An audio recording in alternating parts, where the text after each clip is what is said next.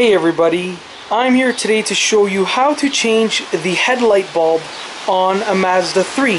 Now I will be working on the driver's side headlight bulb right here, but the process is the same on the passenger side as well, um, but the passenger side isn't as roomy as the driver's side. There's a little bit, uh, a little bit more room to work on the driver's side, so I will be showing you how to do it on the driver's side. So I'm going to place my camera down right here just like that and that will allow you to get a full view of what I am doing. So as you can see right here, this is the headlight bulb and it is pretty much in the middle of the headlight housing. So there are three bulbs. There is the uh, daytime running lights slash high beam bulb. There is the headlight bulb, and then there is the corner light bulb over there. So we're gonna take the middle light bulb right here.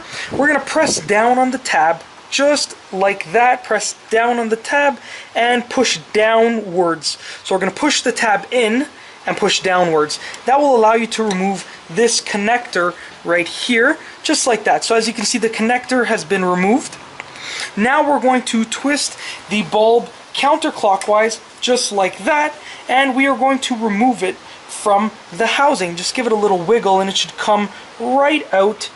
Let's just try and get it out just like that. And there is your headlight bulb then you're going to get your new headlight bulb, which is going to look exactly exactly like this. Um, this one isn't burnt out, so I'm going to put this one back in.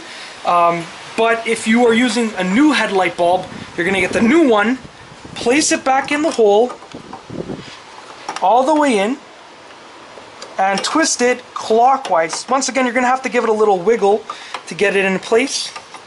Let's get it in place just like that.